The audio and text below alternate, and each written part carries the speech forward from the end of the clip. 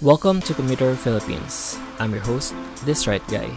Tara, samahan niyo akong mag-commute mula Cubao papuntang Baler at tuklasin natin ang iba pang paraan para mag-commute galing ng Pasay, Cabanatuan at Dau. Ang schedule ng Joybus na pwedeng ang online reservation ay 12.30 midnight, 2 a.m. at 4.30 a.m.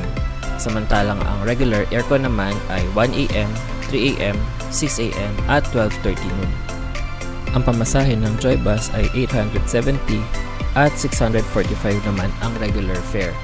Kung ikaw ay mabubook online, may additional itong booking fee at processing fee kapag GCash payment. Ito ang regular bus ng Genesis na papuntang Baler na may 2x2 arrangement. Ito naman ang Joybus Executive na may 2x1 arrangement na may libreng kumot at mas komportableng upuan.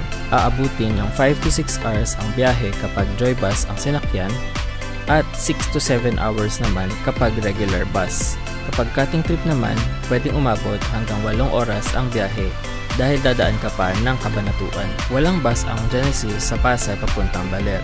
Pwede kang sumakay sa may 5-star terminal papuntang Kabanatuan at Kabanatuan papuntang Baler. May van naman sa Dao papuntang Kabanatuan. Pagdating mo ng Kabanatuan, pwede kang sumakay ng Genesis o di kaya Aurora Bus Line na papuntang Baler at ang schedule ay mula alas 6 ng umaga hanggang alas 4 ng hapon. Aabutin ng 4 hanggang 5 oras ang biyahe mula Kabanatuan papuntang Baler at nakarating na rin tayo sa Genesis Terminal sa Baler. Ito ang schedule ng Baler papuntang Cubao.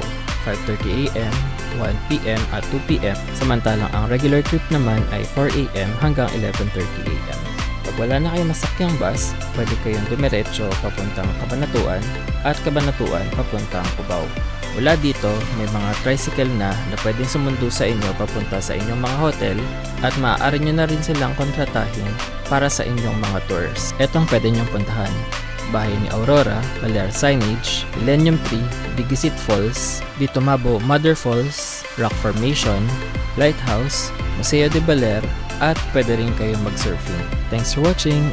Don't forget to subscribe to my YouTube channel. See you on the next video.